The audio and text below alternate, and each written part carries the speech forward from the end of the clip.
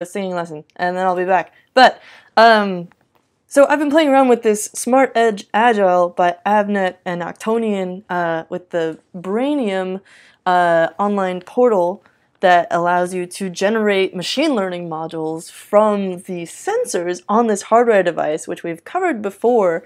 Um, but this is the first time I've gotten the demo up and running, so I'm super excited about it. What I decided to build was something relating to the old internet gem. Uh, I don't know exactly it's called, but it's like badger, badger, badger, badger, badger, badger, badger, badger, badger, badger, badger, badger, mushroom, mushroom. Then there's like a snake part. Uh, I'm sure you remember if you're more than like five years old. Anyway, um, so uh, I decided to create something that would detect whether you're signaling a B for badger, an M for mushroom, or an S for snake. Uh, and as you can see, it just updated with the uh, badger motion. And if I do it with an S, we should get a little text notification. Unless I was like way too excited and did that one wrong. Should be pretty easy though. Come on. I'm gonna give it a couple more seconds. Ah, I'll do it again. that might have been more of like a backwards Z.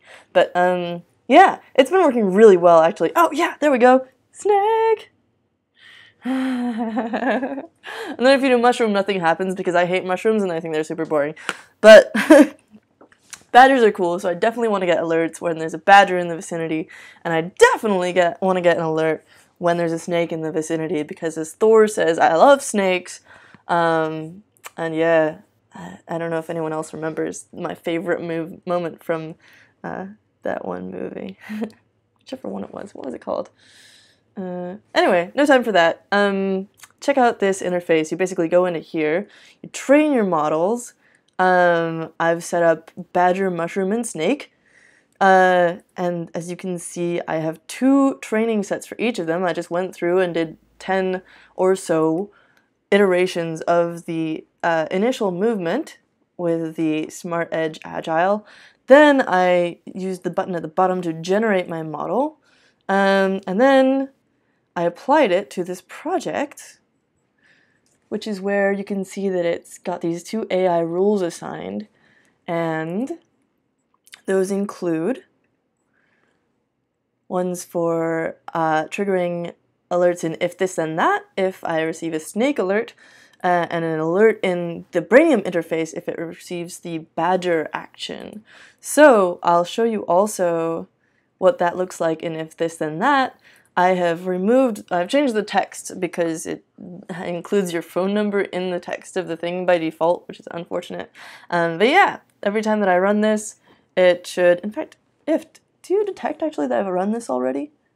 No, it's not updating on the IFT interface that it's actually run, but uh, that's how I did it. You know, you can, you can do the whole thing of where um, if you've never used if this then that before, basically to create a new applet, you go here, and then you go new applet, and then it asks for your this.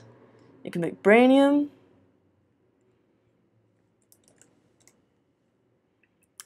I chose the uh, any new alert from motion recognition rule in Brainium. And then for that, there's all kinds of stuff you can choose. You can send a tweet, you can send an SMS to yourself, you can send an email, send something to Pocket, write an Evernote note. Uh, so you could log data that way. There's eight bajillion options here. You can control smart home devices. In fact, uh, the existing tutorial for this on Hackster does use a smart home device.